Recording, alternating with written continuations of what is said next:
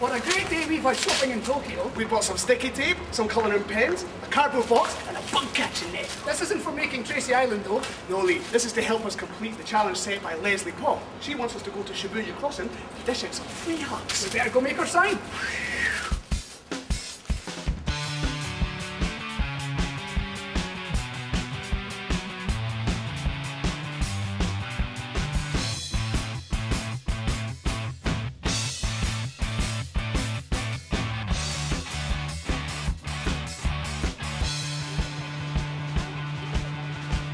Here we are at Shibuya Crossing, and as you can see, we have our free hug sign.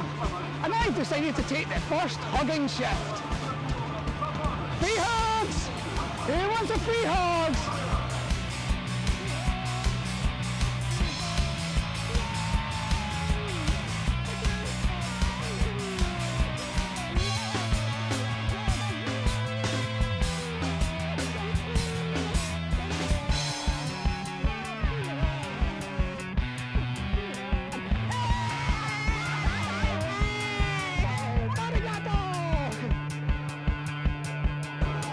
Come and get your free hugs. Come and get your free hugs. Oh my gosh, she's gorgeous. Hug me, women. Hug me. Free hug! Oh my god, I've been rejected. Come and get your free hugs. Women, can I have a woman, please? Give me a hug. It's free. Give me a hug.